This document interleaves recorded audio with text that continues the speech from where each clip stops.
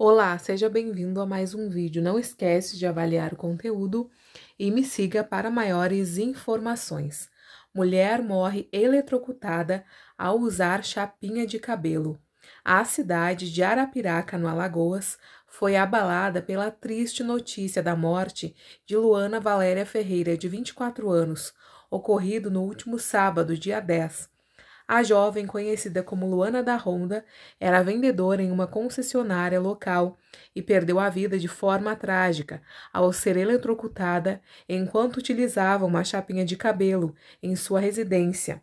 O incidente ocorreu quando Luana foi encontrada caída no banheiro por seu marido, Segundo relatos de vizinhos, a vítima estava usando o aparelho em uma extensão com um fio desencapado. As circunstâncias exatas que levaram à eletrocução ainda estão sendo investigadas pelas autoridades locais.